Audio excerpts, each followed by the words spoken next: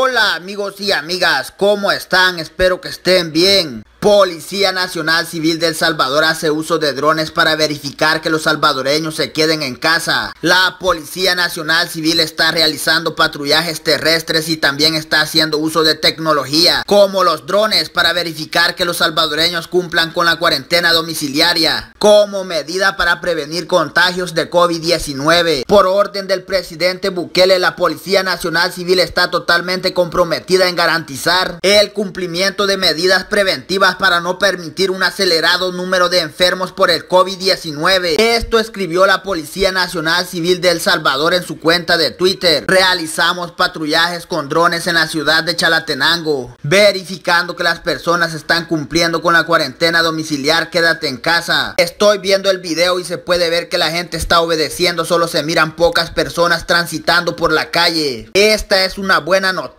porque si seguimos así todo va a estar bien en El Salvador. Nunca había ha pasado esto en la historia del país que se diera esa orden de quedarse en casa encerrado. Pero todo es por el bien del Salvador, así que la gente no se puede quejar. Es para que todos estemos bien y saludables. Esta vez sí me ha sorprendido este presidente Nayib Bukele, porque ahora sí puso orden en el país porque esto es serio. Gracias amigos por ver este video.